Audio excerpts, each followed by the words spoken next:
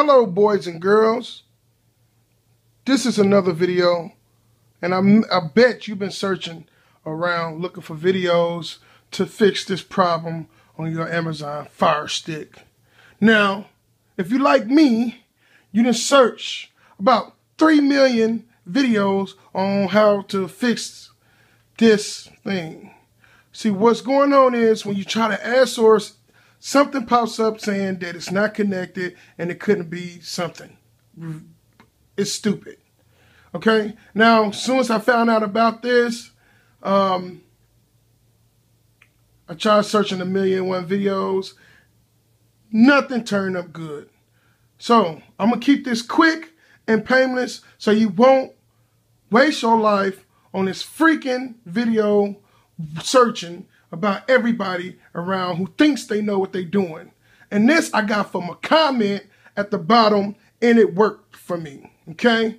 After three hours of searching on how to fix this problem, this is what it is.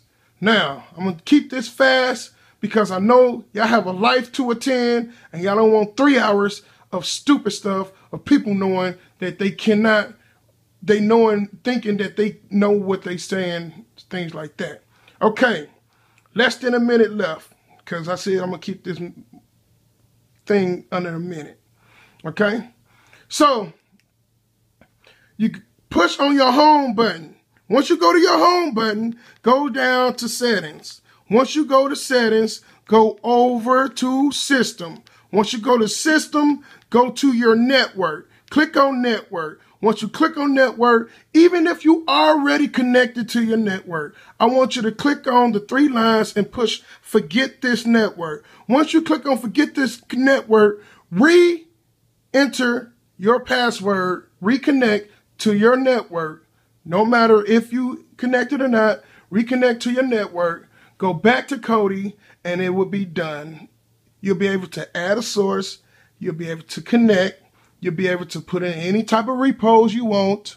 So have fun with that or have fun searching again. Like, comment, subscribe.